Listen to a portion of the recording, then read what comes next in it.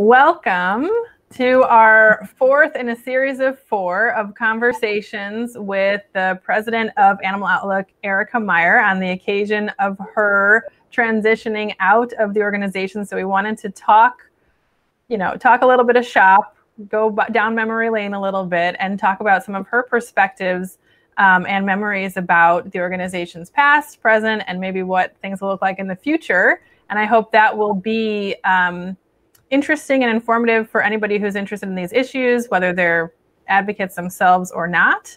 Um, I hope this will be a fun conversation. So, this conversation is about undercover investigations, uh, which is sort of a high high drama topic. A really kind of you know always every time I hear people you know talking about this topic or they hear what it is that we do, they always kind of say, "Wow." You know that's it's really hard to watch. It's really you know these are really intense things, um, and I think that's all kind of the point about why we spend some time on this and the, the difficulty and the stress that goes into doing these investigations because they really have such a huge potential for impact. Um, and they certainly have impacted a lot of people. So uh, if you haven't heard the first three conversations in this series, uh, go back and watch them. The first one was about uh, corporate engagement, and then we talked about veg outreach, and then we talked about legal advocacy, and now we're rounding it out with undercover investigations. So let's get started. The um, you know, you a lot of people probably don't know this about you, even if they've heard about you or been familiar with the organization, but you actually have been into these factory farms and you actually spend some time in egg farms. So so talk about that. Take us way back and um, why did you do that? what was it like? Yeah, well, I mean, my background before joining the organization was as an animal control officer in DC. So I did a lot of work enforcing cruelty codes in DC and rescuing sick and injured animals. Um, and I started volunteering with Compassion Over Killing, as we were then known. Um, and this style, so when I came on board, we were just, um, I mean, the, we switched the style of investigations that we did, and that also involved um, your input as well when you joined us in 2006. But when I started in 2005, we were still doing um, what is considered an open rescue style undercover investigation. And this is basically where you visit the farm when nobody else is there and you document what's happening and in some cases, you might even um, rescue some animals who need help and then use their stories to sort of highlight the horrors of these facilities. And so when I, before I even started, I was volunteering with the organization and I had, without giving away details of how everything is done, been volunteering that included helping with some of these open rescue style investigations.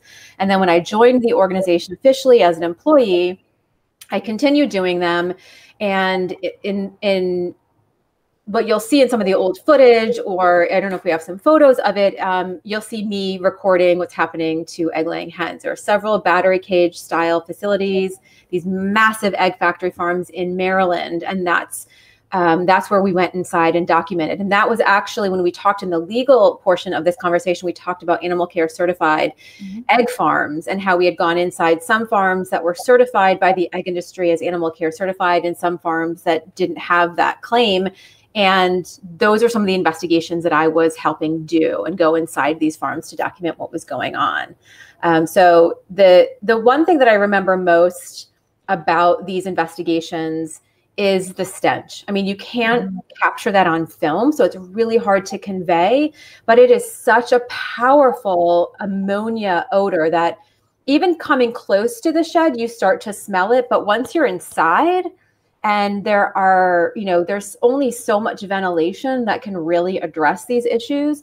And once you're inside, it just, it's almost like hitting a brick wall. You don't know what happened to you. And that's where these animals are living day in and day out. They never get to escape that. And I think that is something I will never forget. Yeah, that's something that every investigator um, you know you can you can prepare people who've never been into these places ahead of time for that kind of thing but it's absolutely shocking, overwhelming just to be able to do something as basic as breathe going into these places. Yeah. Um, and you know, I, I also want to set the stage a little bit for the time, the time period that this took place, because the the movement had not really had investigations as it's you know as something people expected. Oh yeah, of course we're going to get see footage that's mm-hmm. inside factory farms and slaughterhouses. It just wasn't um, sort of a mainstream thing within the movement um, back then. And you know, there's there's good reason for that. I think these are very difficult, very dangerous um, situations, and also you know, in terms of open rescues, there's legal issues there. And I think um, once the industry sort of woke up to the impact that these kinds of images could make um, and videos could make, they really um, reacted in a way to try to, you know, shut it down using legal channels. And I think that's why, um, especially from our point of view, that's why we switched over to the employment-based investigations, which you know we take a lot of care to make sure we're staying within legal bounds. But I think that's a testament to the power of just something as simple as a photo um, or a short video showing this is the reality of what's inside these places. I mean, they're filthy. You can't convey the smell, but you certainly can get a sense of what's happening to these animals. They're on death's door. Yeah. Um, you know, and and really, I mean, you're getting as close as possible as a viewer without actually being in there to seeing what's actually happening in these places. So, what did you take out of this in terms of the importance of going into these places, the importance of taking images out of these places, um, and what kind of role you think it plays in change making. Yeah, I mean, I think you know the most important element of undercover investigations is the just the reality that these videos are uncovering what's really going on when the industry thinks nobody is watching, mm-hmm. and consumers are just not allowed inside these facilities. And, you know, animal factory farms, big ag will use whatever excuse they want to prevent the public from coming inside. But the truth is, they just don't want people to know what's happening to these animals. And that's why the power of investigations is still strong today because the, the, the way in which these animals are treated is so abusive that if those same um, the, if, if those same abuses were inflicted upon the dogs and cats whom so many of us have in our homes it would result in uh, in prosecution. And i think that's one of the distinctions when i was an animal control officer in, in dc versus working to protect farm animals um, I think that's one of the things that you just really start to realize the, the different way in which animals are treated mm-hmm. in the legal system in the US. So, you know, for example, as an animal control officer, I remember having a case where there was a puppy who was um, tail docked at home. And um, this is a procedure where they they cut the tail, part of the, the puppy's tail off, and it became very infected. And at some point, we got involved, and the case went to court because this was a procedure that can only be done by a veterinarian and the person you know who did this um, didn't take any procedure any care any anesthesia and there was an infection that wasn't getting treated. And so i remember that case going to court but that is something that happens every single day on yeah. pig factory farms to piglets. Their tails are snipped off by you know without any pain relief by just any employee working there. That does not require a veterinary um, assistance in any way. And so you just start to see the different ways in which animals on factory farms are treated and if like piglets are castrated without any pain relief whatsoever um, by employees who are just taught to do it with a knife. And you would never allow that to happen to a dog or cat. That would be prosecuted if someone at home just tried to neuter their puppy or kitten. And so you know i think that was a big takeaway for me is the justice system is severely flawed and there's a misconception. Most people, myself included, at some point mm-hmm. believed that these animals, these farm animals, must have some level of protections that would prevent something so cruel. And it just isn't the case. And that's what really started to fuel me when I came over to this organization was that drive for justice and and exposing what's really happening to these animals in order to fight for change, in order to fight for their legal protection.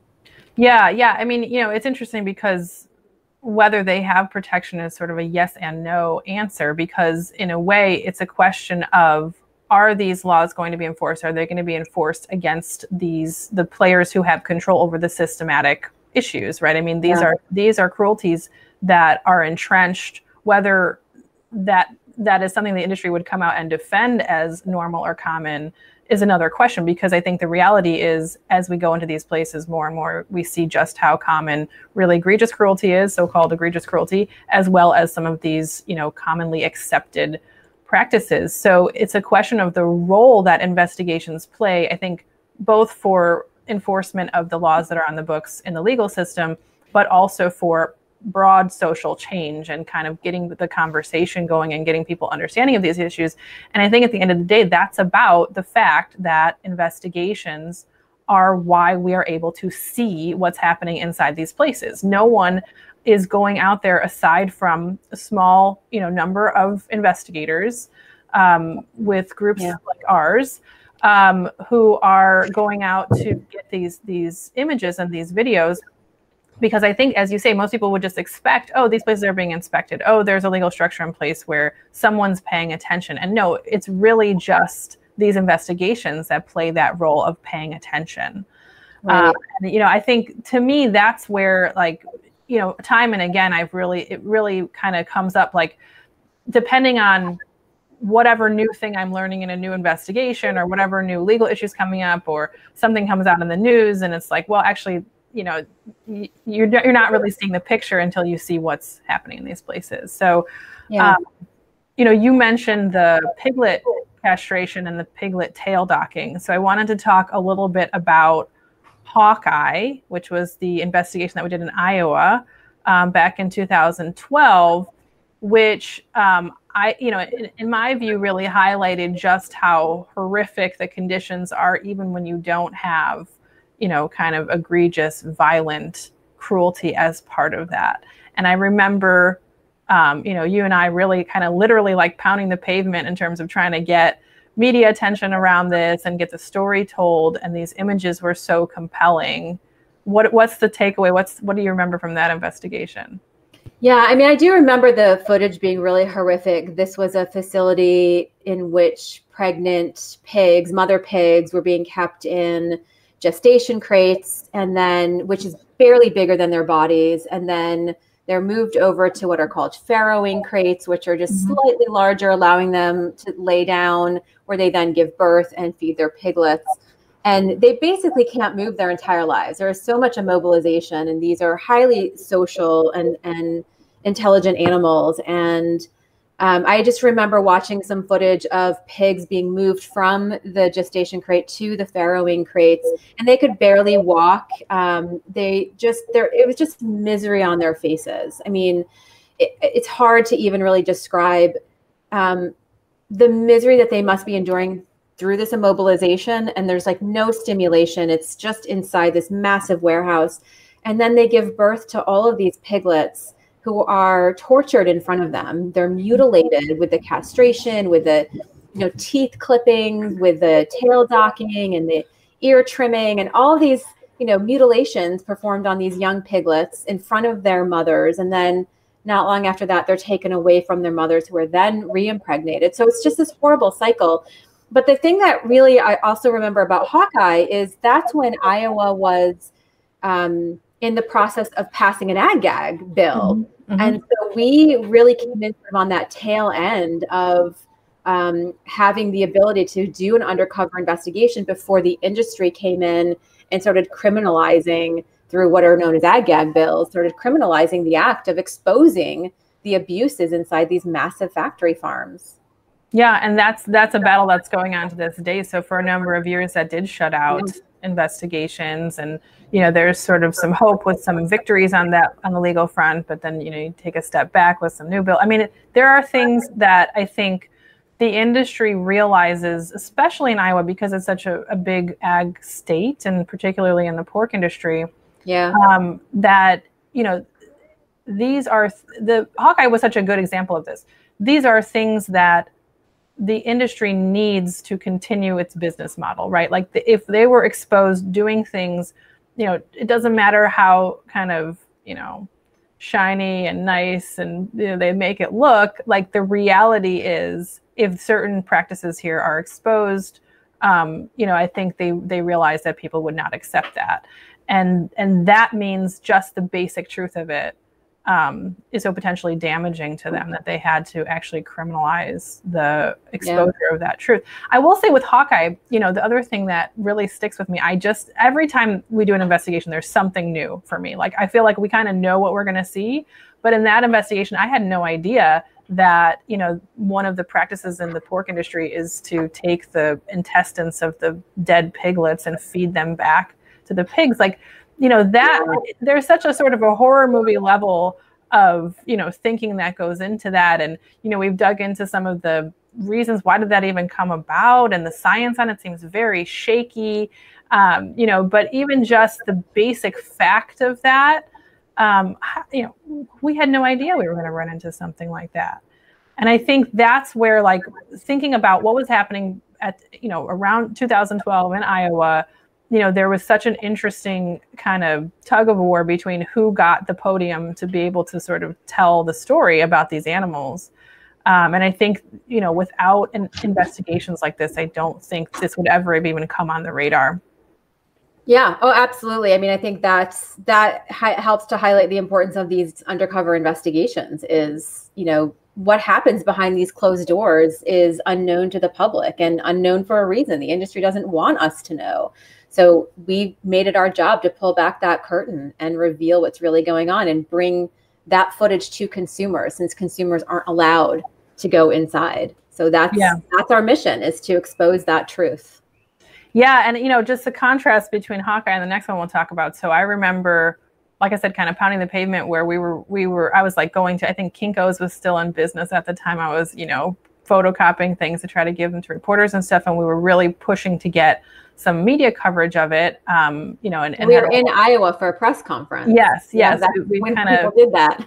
yeah, exactly. Like you know, everybody showed up with their lights and their cameras and stuff, and we were like, okay, I mean, you know, we're going to yeah. get something in at least local media, and that was you know sort of a big deal.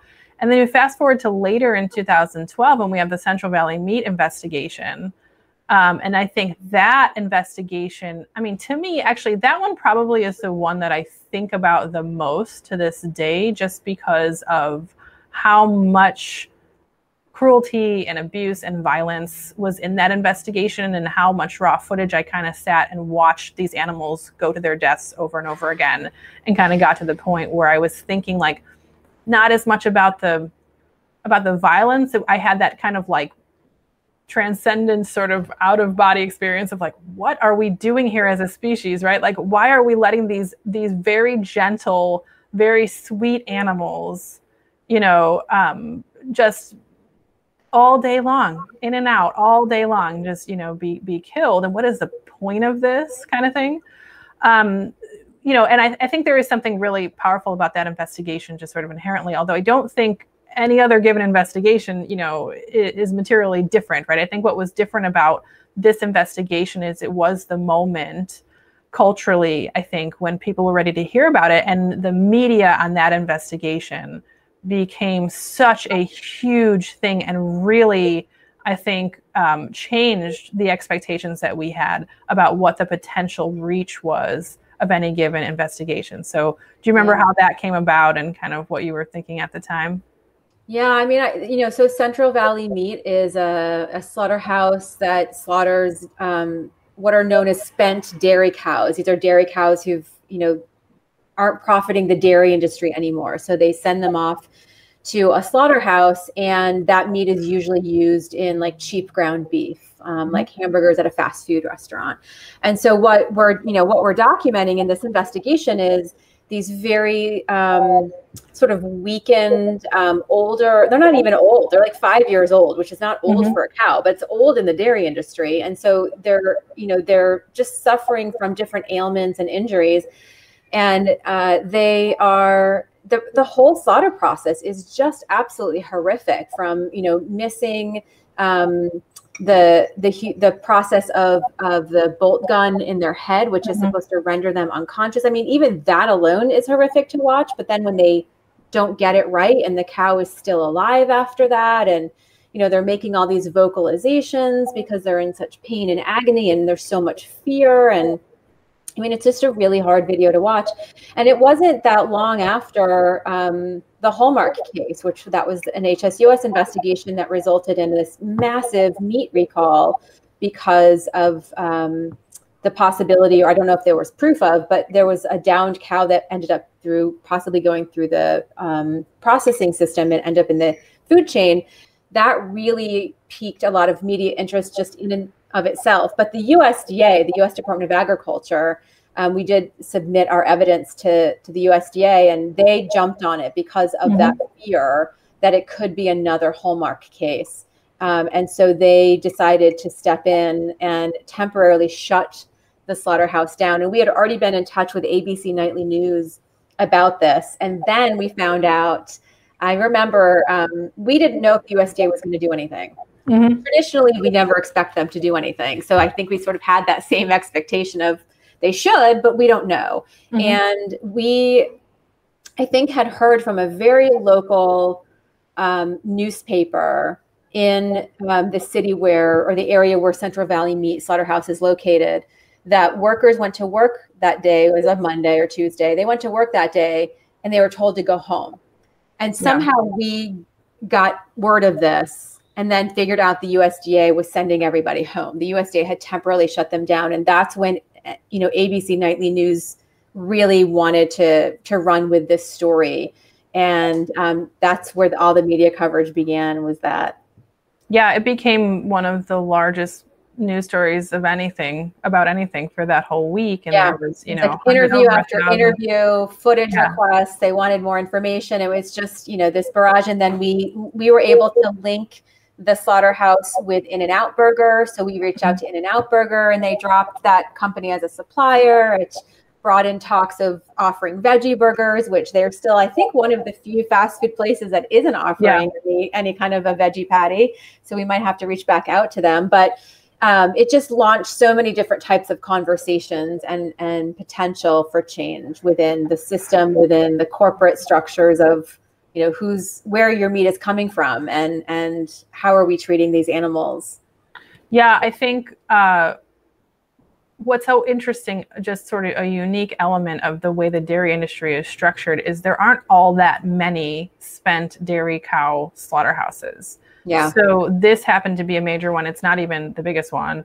Um, but when you, you know you have exposure of what's happening in a slaughterhouse like this, you're likely then to have suppliers, you know, or they are supplying pretty much every fast food place you can think of.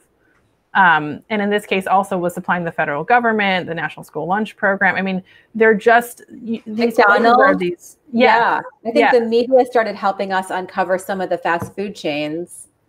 Yeah, yeah. I remember pulling an old um, opinion from a lawsuit from many years prior that listed out certain fast food chains, and we're like, well, are they still supplying to those?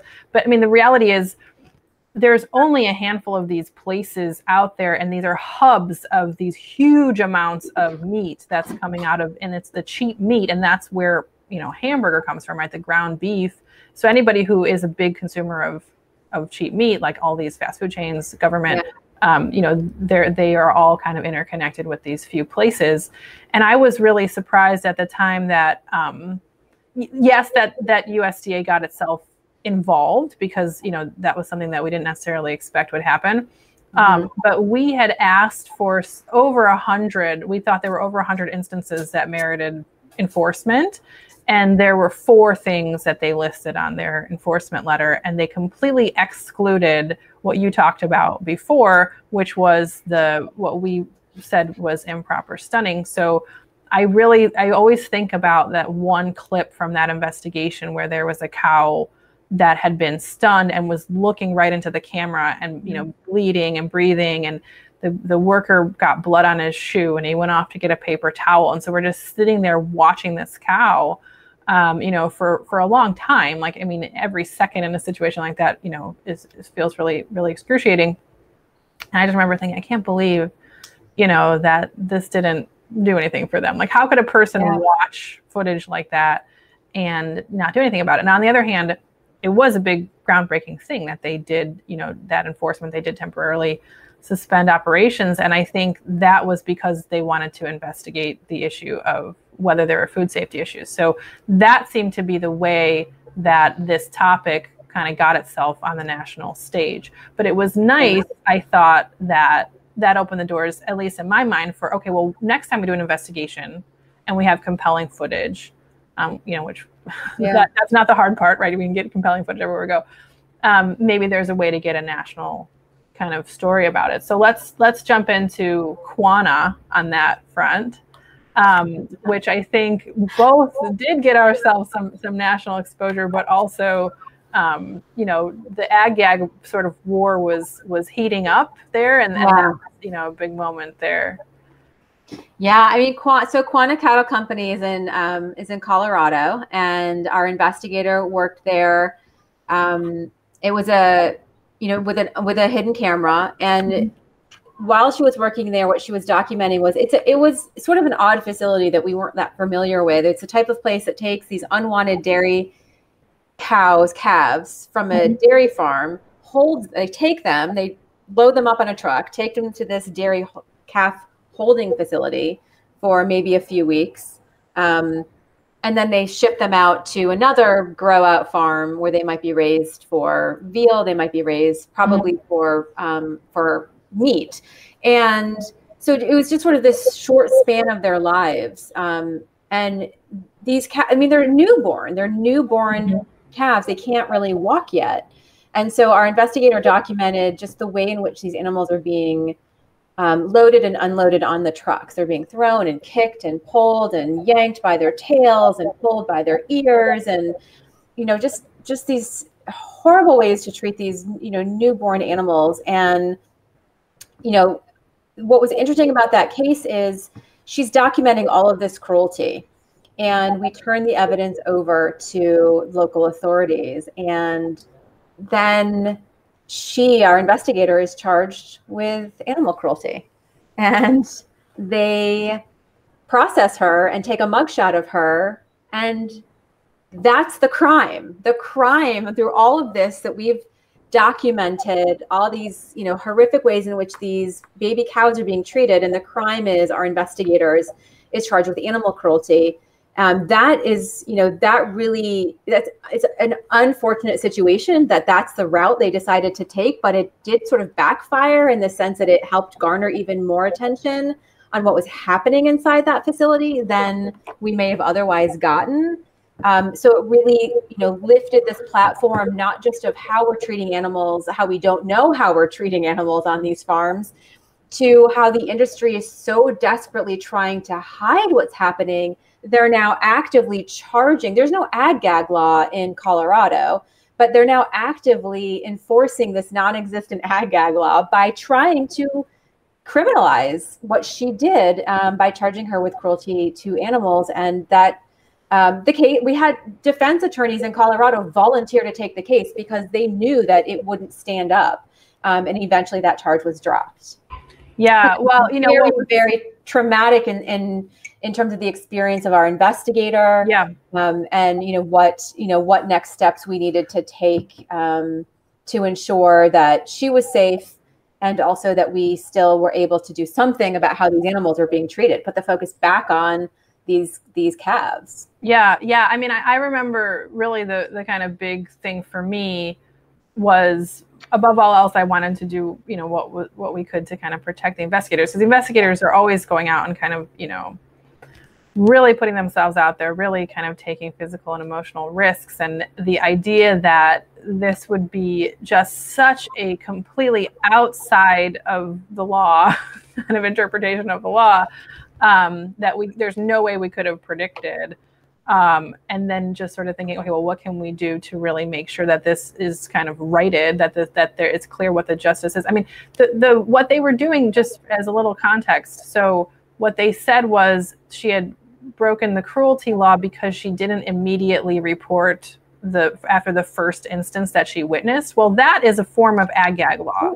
So, oh, hi, Kitty um, so that is a form of ag gag law. At the time, there were different versions of what we would consider to be ag gag laws, and one of ones that was sort of trendy, floating around different states, was the idea that you know there would be a. It, it was sort of an ag gag law in disguise, like it was you would um, have a mandatory reporting requirement, and the function of that, you know, within 24 hours or 48 hours, whatever. The function of that was to make sure that the investigation couldn't be completed, right? Like whatever you're getting in the first day or two is certainly yeah. not a full picture of the whole system of cruelty, which is of course the target of these investigations is figuring out what actually is going on. Now, of course, if we were to walk in and you know there wasn't any cruelty it'll be a different story but it's like we know that when we go into these places that's what we can expect to see is you know a real systematic problem um, kind of up and down the chain in terms of the hierarchy of how the place is structured and these laws were in place to stop that. So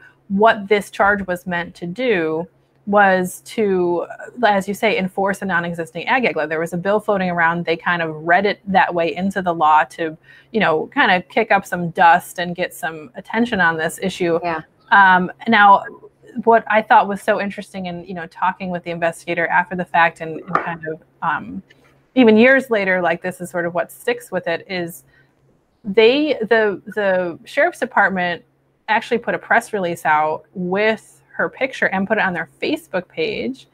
And they they sent it out to all these news outlets and stuff, which they yeah over a hundred. I think it was over a hundred media outlets got her mugshot, which we only knew because they did not BCC the list. right. Um, but um, they did not do the same publicity for the actual people that they charged who were engaged in cruelty. So this was all to kind of get attention on her, and it had the effect of ending her investigative career. But you know what was really great, as you mentioned, this you know really fantastic defense attorney kind of came out, jumped on the news too, and said, "Look, this is absolutely crazy way of interpreting the law. Certainly, she did not yeah. commit animal cruelty. um, you know that was borne out legally, but." Um, she also won two awards, including the Whistleblower of the Year award, as part yeah. of this. And the story was on CNN um, you know, we were able to kind of get that that out there. And I think at the end of the day, um, you know, sort of the lesson of, of that story really is these are this is a, a battle over who gets to speak on these issues, you know, and who gets to have credibility. And the the sort of overt attempt to destroy her credibility was just so you know sort of frustrating yeah. but turned out turned out well in the end yeah and i, I know i think you know the bigger picture of that too was uh, intended as a chilling effect to other investigators out yeah. there not just her not just to stop her which effectively did end her investigation career she's still doing amazing animal advocacy work but um, it's i think it was to send a message to other yeah. individuals and organizations it's that chilling effect of of you know if you do investigations this is what could happen to you um, yeah. but the whole thing backfired yeah I, think, I mean so that was really kind of in the thick of it with with AgGag, and i think yeah. um, you know we're in a different place now in terms of ag gag like thankfully and you know through a lot of blood, sweat, and tears. I think the the movement and you know has, has really been successful in a lot of these legal challenges, but um, it doesn't mean that the fight has gone away. I think there's still really this battle over who gets to see what's happening. Um, and there, you know, the, we really can't take for granted our kind of right to see what's what's happening in these industries. Yeah, yeah, um, yeah. and I think you know the ag um, initiatives, the bills and efforts across the country. I think it's just so interesting that you know these the, some of these have existed for quite a while, but others have more recently popped up, or they had been popping up as a sort of a way to combat the growing number of investigations across the country and the impact. Um, it's really about the impact that these investigations are having, and you know, I think it was just an interesting response that the industry, while being exposed for all this horrific cruelty that is just shocking the public mm-hmm. and reaching media outlets, um, their response was to, instead of addressing the abuses that are being uncovered, is to prevent people from ever seeing them in the first place. That yeah. the, to them, the crime was exposing those abuses, not the abuses themselves. And so the industry has, you know, been working harder to you know lock its doors tighter close its windows keep those curtains shut so that people don't see what's happening. And that's what has propelled us to ensure that we do still go inside with hidden cameras and get that footage out there. Yeah i, I don't think most people who you know ha- haven't really jumped into this and, and, kind of gotten into the the rabbit hole of, of watching all these footage all these videos and kind of looking at the politics of it really realize what an outlier the investigations really are, right? I mean, we all grow up hearing industry messaging, you know, as much as we, we don't really even necessarily realize it. the vast majority of the dollars that are going just advertising budget alone, right, for mm-hmm. any of these large media or, or large um, meat companies, um, absolutely dwarf the entire budget of all of the animal advocacy nonprofits out there, right? So we we live and we have all grown up in an environment where most of the speakers who are talking to us about these animals and about these issues are doing it to sell us more animal products, right?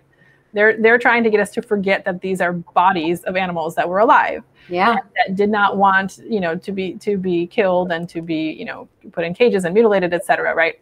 So our the fact that we're able to go in and and kind of break that open by being the counterpoint to that kind of industry speech is very threatening to the mm-hmm. industry. So, you know, I think it's really, really important and vital that we do it. I think it, it provides, you know, a public services again, as, as people's initial reactions, I don't want to watch it, it's too violent, but you have to think about, you know, what went into getting it, how unusual it is that, you know, there, that this is even available to look at. Mm. Um, and I think it, it always really blows my mind to think about the fact that these investigations are done by a few people. I say, you know, like I say, well, I could have all the investigators who are out there doing investigations right now over to dinner at my house, and I do not have a big house, right? like, meanwhile, the industry is spending millions of dollars in huge PR campaigns to actually legislate on these issues. Yeah. Um, because it is such a, a departure from the the norm, the system that they've built that is so opaque, that is so inaccessible, and they control all of the speaking aside from you know this kind of stuff. So yeah, I, this small minority exposing what's happening and um, and and it's so shocking and so unexpected in many ways that it's that small minority of, of voices and video um, is it speaks volumes.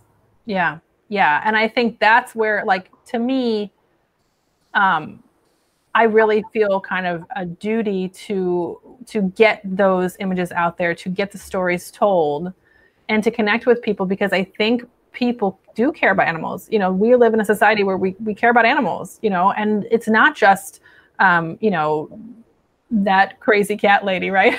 it's not just a few people. Um, and in fact, it is entrenched in our in our laws, the way the laws are written. The problem is that the industry has really co-opted.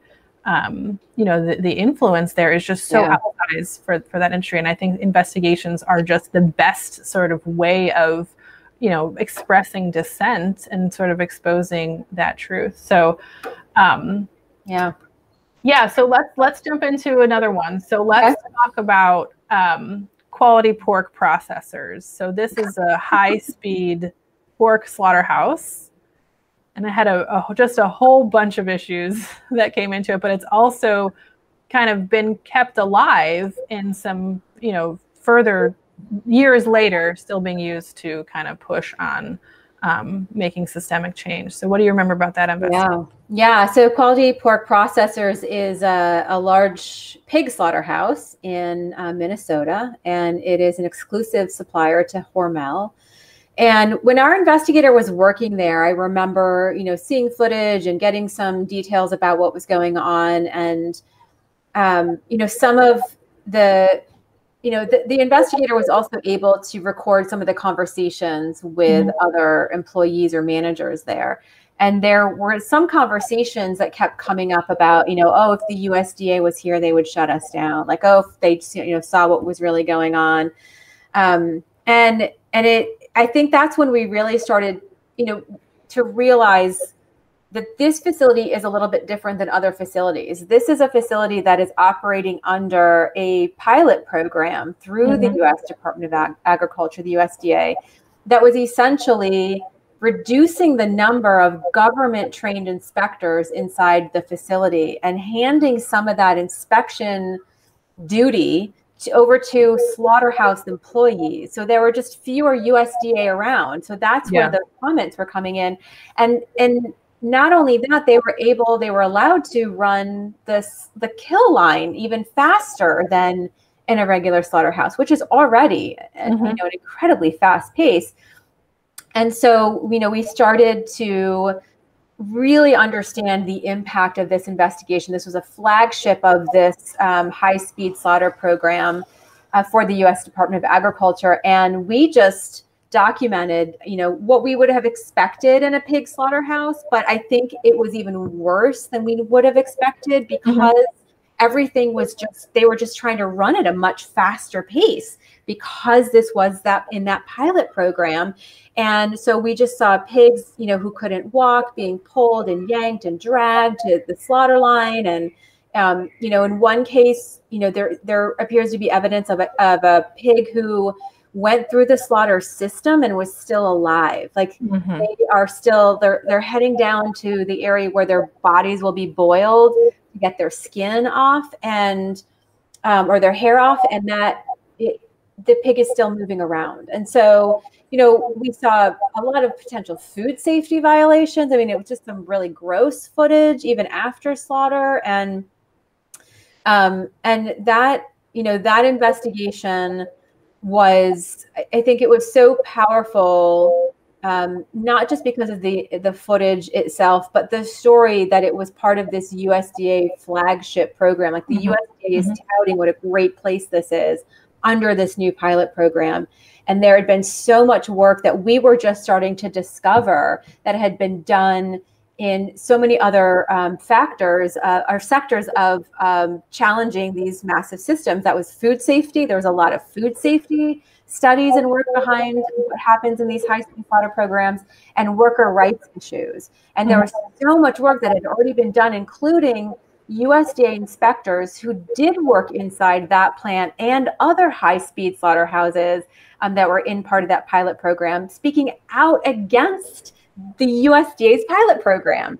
And so we, you know, we ended up discovering that there was this whole um, campaign really to stop this high speed slaughter program. And this investigation um, really lent so much additional credibility to that campaign because it's the first time that this sort of raw day-to-day interaction of what's really going on inside this high-speed slaughterhouse um, was documented and we ended up being part of this much wider campaign to put an end to this program for animal protection for worker safety rights as well as food safety concerns yeah, I think this investigation was such a, an important tool for that broad coalition and building, you know, a, a, group of sort of opposition to the expansion of that high speed system. I mean, that high speed program really is a deregulation program. So after yeah. all this time we spent, you know, getting yeah. into factory farms and slaughterhouses and seeing how bad things are and how few people are aware of what's going on, and the ones who are aware aren't enforcing the law.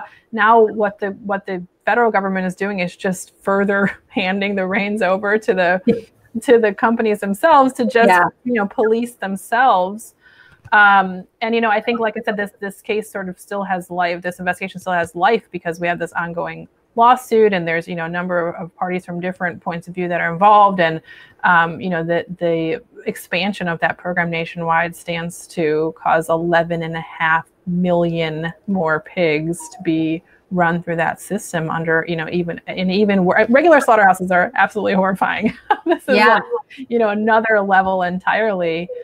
Um, and you're talking about so many more animals. So this really has become a very important tool um, to kind of to stave that off um, yeah. you know which i hope i hope is a successful effort so let's talk a little bit about um, something a little different for us which was fish so we did this aquaculture investigation, and um, that was the first aquaculture investigation in the U.S. Um, and it was we had no idea what we were gonna, you know, unlike every other investigation where I think we kind of, you know, we did we've done a ton of egg investigations, we've done a ton of investigations of, you know, dairy or or pigs or whatever. Yeah. But this was sort of like, well, what is this industry all about? What is going on?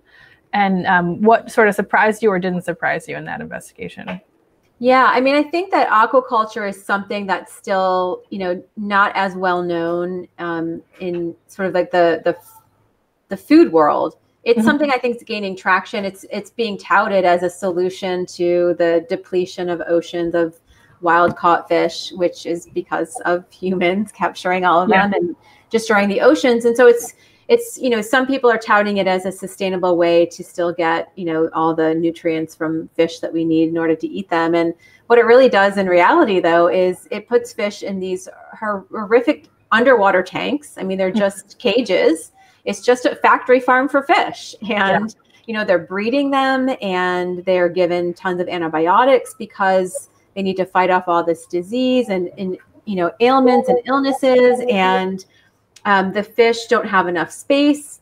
In a lot of these places, they have to still catch wild fish to feed to the yes. captured fish. Yeah. So it, yes. it doesn't, I mean, the whole system, I think, is, you know, it's just animal agribusiness's way of continuing to make profit and spin a story that is simply, you know, out of control and and not based in a whole lot of reality.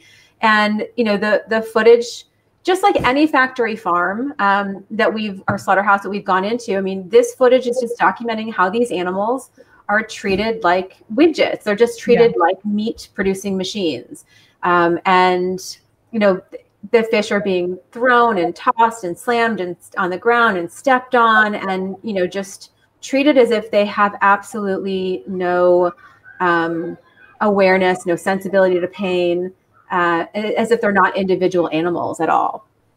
Yeah, and I think you know, for me, what really stands out about the aquaculture, I mean, there's there's always sort of the idea that do people even really realize that fish feel pain? I mean, that really isn't a debate within the scientific community. Like, it's clear that fish do feel pain. It's more a question of people saying, like, "Oh yeah, you know, I never really thought about it," kind of thing.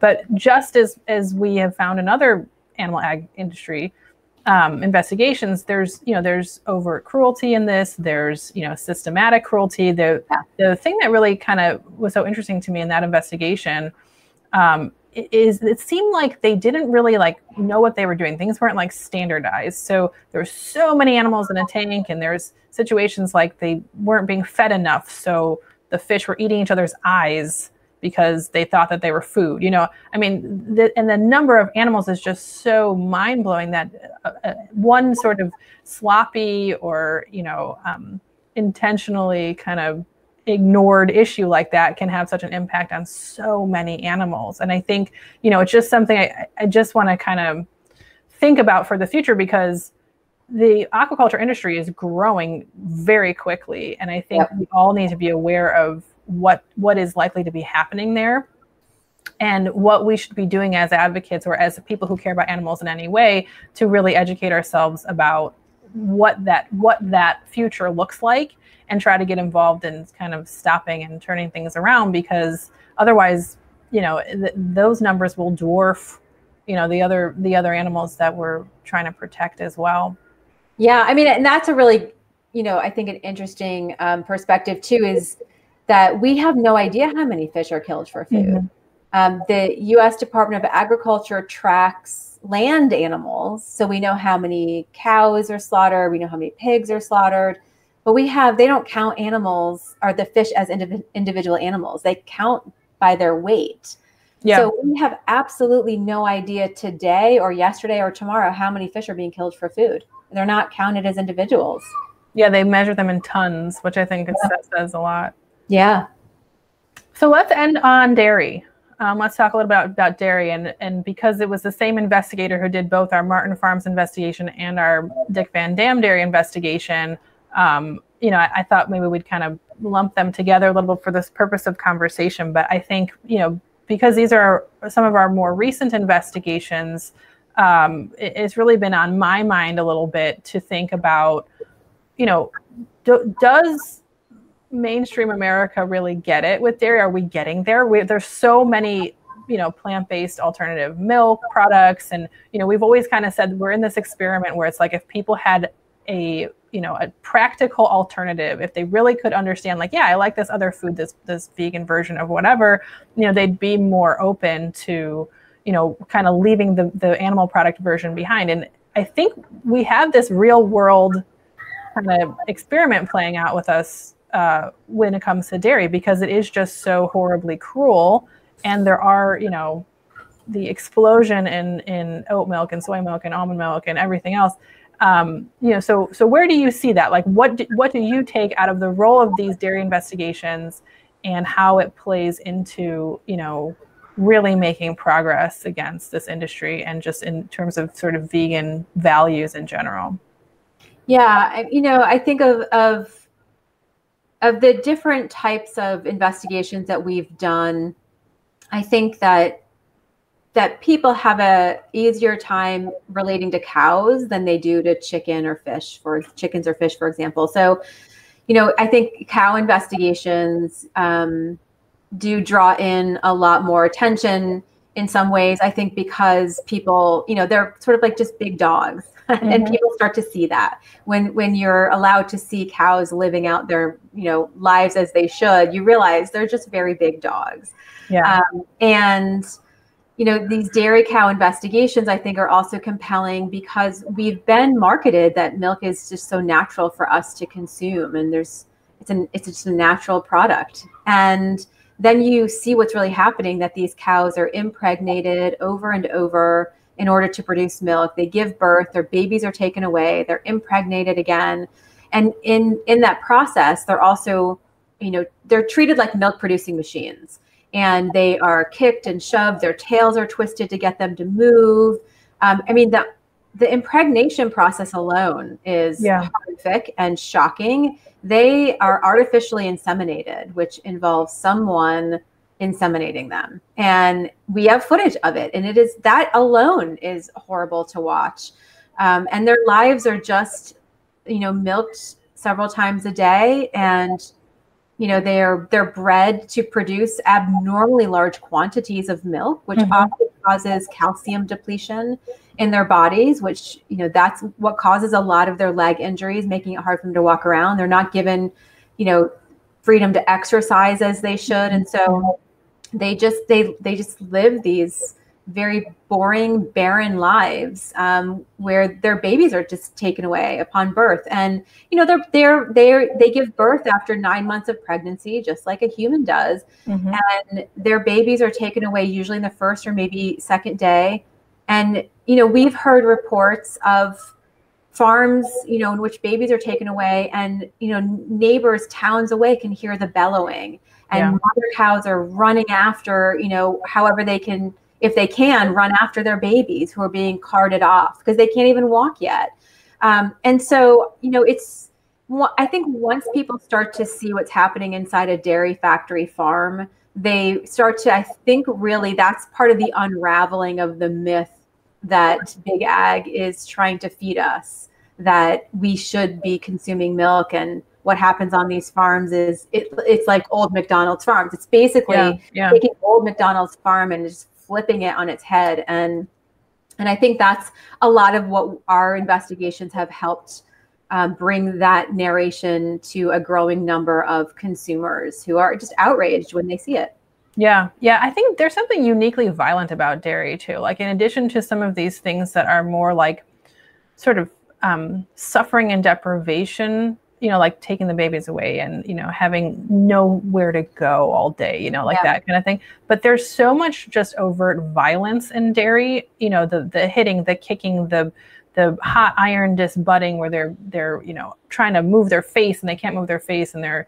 you know kicking their legs to try to get away and you know the the violence that even goes into just getting them into a truck getting them to a slaughterhouse you know i think dairy to me um, is a real entry issue for people, especially because, you know, you can get oat milk at Starbucks. You know what I mean? Like there are yeah. things that, um, to me, dairy has a real um, accessibility to people that maybe some of these other industries eh, are are not as it's not as clear like what the issues are. So yeah. I think that, and I think really that dairy is considered. I mean, just generally because the cows are alive, right? They have to be mm-hmm. alive to to collect their milk. That it's not considered generally as violent of an industry as, let's say, you know, killing pigs for food. But when you see what's really happening, you realize that their lives are misery filled day in yeah. and day out, and they are slaughter. They are still sent to slaughter at a, at a for for you know at a young age. They're usually about four, or five, or six, and that's you know Central Valley meat then helps so you know you can see the whole life cycle of these animals central valley meat is where they end up going and it is a horrible death just like their lives have been horrible Yeah, yeah. It's a really, I mean, they're kept alive longer than other farmed animals. And, yeah. You know, they're kind of, it's very violent. So, yeah, I, I mean, I have a lot of hope for um, kind of the power of the dairy story to bring people into these issues. And I think, especially seeing the media coverage around our most recent investigation that was dairy and some of the conversations that that started, I think this really may be our way to kind of turn the corner into um, you know people people having a more sophisticated awareness and more empowerment to sort of change their their behavior around that. Yeah. So um, you know this has been i actually i love talking about this topic. I know that sounds sort of strange but it's so, to me it's so fascinating. There's so much to it. I really you know, just am absolutely in awe of what the investigators are able to do and the amount of sort of self sacrifice that goes into that and the hard work that they put into that. So I really feel like the more we're able to, you know, engage in these topics, you know, the, the, the better I feel about kind of the impact that we're able to make. But um, do you want to close us out with one kind of takeaway point about why people should, you know, engage with investigations, watch investigations, share investigations, and what the role is, you know, in the next 15, 16 years for the for this kind of work. Yeah, I mean the you know, I think investigations are really what fuels our entire farm animal advocacy movement. So it's, it goes so far beyond the work that we do, and I think that's you know one of the the major contributions um, to to changing the world overall is um, by providing sort of this factual documentation of uh, of what's happening when the industry doesn't think anybody is paying attention. Uh, you know, and and there's so much I think to be learned from these investigations, as horrible as they are to watch. Um, you know, I think is the bigger question is if it's something so difficult to watch, is it something that you want to support? Yeah. And, and that idea that we don't need meat to survive. In fact, meat, milk, or eggs to survive. In fact, so many studies show that we are healthier in many mm-hmm. cases without consuming animal products. And, you know, studies are showing that, you know, choosing a plant-based diet is better for the environment. And, you know, the the factory farming system itself you know, animal agribusiness, big ag, whatever you want to call it, it is built on a system of exploitation. It is exploiting everyone and everything in its path, from the animals to the workers to the environment to the rural communities that they're usually in. And it, it's just built on this foundation of, of exploiting and causing harm for profit and yeah. the whole system needs to be dismantled i know a lot of people talk about this and that's that's why because it's not just a bad place for animals it's it, it causes so much harm that is you know just beyond the immediate nature of what we're documenting what's happening to the animals like, there is so much um, you know reverberating throughout the communities that they're in and the pollution that it's causing mm-hmm. um, and so i you know our goal is is to expose what's really happening and recognize that it's these are not bad apples. I mean, I think that's one thing the industry always wants to highlight is, oh well, there was a worker who wasn't trained properly and did this wrong, or that one farm is just mm-hmm. not doing what they're supposed to. But there are just too many investigations, not just by us, but by other people, corroborating the reality that cruelty is standard practice in this industry. And um, and it, it it's just a bad system from from the setup and the get-go. It, it is it is you know just i think shocking when you realize what's really happening because you grow up with old macdonald's farm stories. Mm-hmm. and then when you start to see the reality there's it's this reaction of like how like what you were saying earlier like how can we be doing this? How is this mm-hmm. okay? How who is allowing this and then you have to ask the question of what are you doing to support it and how can you challenge it and change it? And that's what these undercover investigations are doing. They're challenging it and helping change it. Absolutely. Yeah, 100%. And I think, you know, this is this is sort of a good moment to wrap up the whole series, which has been really fun for me. I don't know. I hope that it's, you know, it brings some historical context and some perspective and insight to the people who are watching. So thank you so much and um, you know this is sort of the the occasion for me to say thank you for everything um, and i hope that the next um, you know phase for the organization and the next phase for you um, you know, are sort of even better than the last. So thank yeah. you. Well, thank you. And I look forward to seeing all the future successes and, um, and victories achieved at Animal Outlook.